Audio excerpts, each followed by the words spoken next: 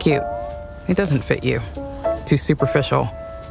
Just think of all your accomplishments, like the time you almost put the star shaped block in the star shaped hole, or when you won your first staring contest.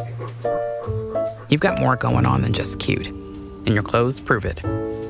Carter's, stitching as strong as your character, durable fabrics for your playdate with applesauce. So don't settle for just cute. You're more than that, and you wear it very well. Carter's.